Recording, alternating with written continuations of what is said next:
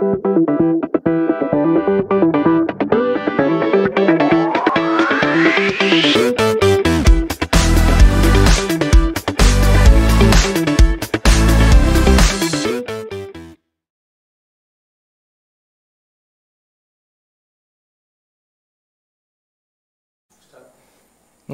let's go for the next type which is called the triple plus triple mixed type. Now what is mixed type? Okay, we'll also get questions something like this where one number we get uh, carry and one number we get non-carry. Then what to do? Okay, look at the problem. Something like 539 added to 217 how much? Okay. Now this is actually a type problem. Now what is the type? Let's see. Add 5 plus 3, you get 7, right? Write 7 only, don't write 8. Tell me why. Because when you observe the next place, there is a non-carry number, right? I told you you must only increase the number when you get a carry number. But here we got a non-carry number. 5 plus 7, put 7 only. Now add 3 plus 1, it's a natural addition, right? You get 4. But next place is a carry, right? In that case, we have to increase one number more. So 4 becomes 5. Just think of the number of 9 and 7, you get 6. The answer is 756. Okay.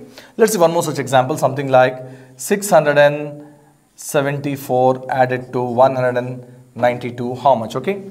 Now add 6 plus 1. You get 7, right? But write 8 because the next place there is a carry number, right?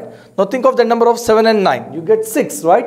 So write 6 only because the next place there is a non-carry number, right? Now just add 4 plus 2. You get 6. Okay. Now look at this problem. You got non-carry in the tens place. Here you see that non-carry you got in the ones place. So we never know. It may appear in which other place. Okay. But you have to be logical enough to understand if you get a non-carry number, you have to write the same number. If you get a carry number, you have to increase one number more. Okay. Let's take one more example. Something like uh, 342 added to uh, 271. How much? Okay. So add 3 plus 2, 5. So 5 or 6. Think and tell me. It's 6 because the next place is a carry, right? Now think of the number. 4 and 7, how much you get? 1. So 1 or 2? Tell me, think and tell me.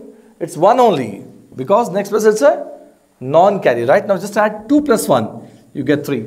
Got it? So one more example. Take a look at this.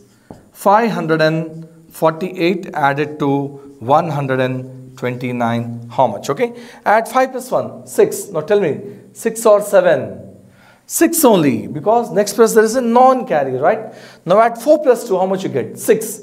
Now tell me 6 or 7? 7. Why? Because next place there is a carry number. Now think of 8 and 9 end number? 7. So that's the way how to deal with this mixed type, okay? When you get a non-carry, think the same number. When you get a carry, think one number more. It's as simple as that. So I give some exercises uh, in the material. Just finish off the exercises and get back. We'll go for more higher aspects in additions.